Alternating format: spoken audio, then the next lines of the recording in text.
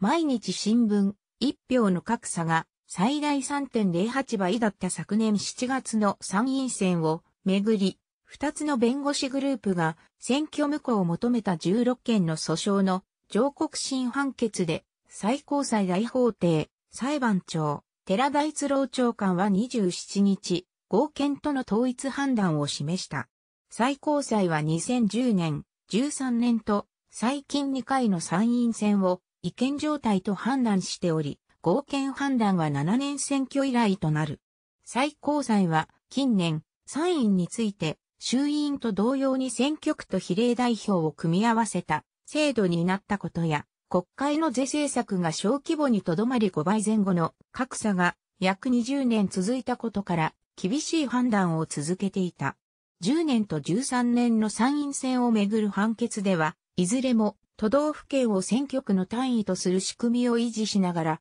格差是正を図ることが著しく困難と指摘。国会は15年、鳥取、島根と徳島、高知の2号区を柱とする10増10減の改正公選法を成立させ、最大格差は13年の4.77倍から大幅に縮小した。今回はこの5区に取り組んだ是正策の評価が焦点となった。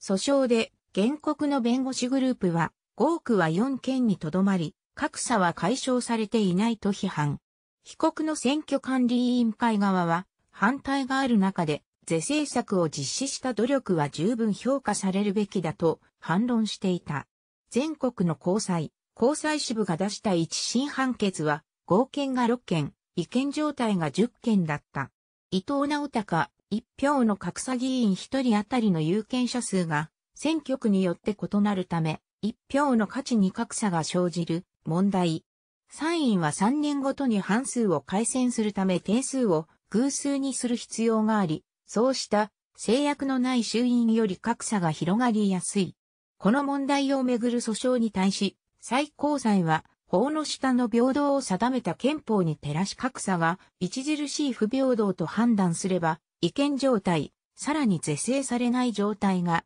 国会の裁量権を超えたと判断すれば、違憲とする判決を出してきた。過去、違憲状態判決は参院3回、衆院5回。違憲判決は参院が0で、衆院2回。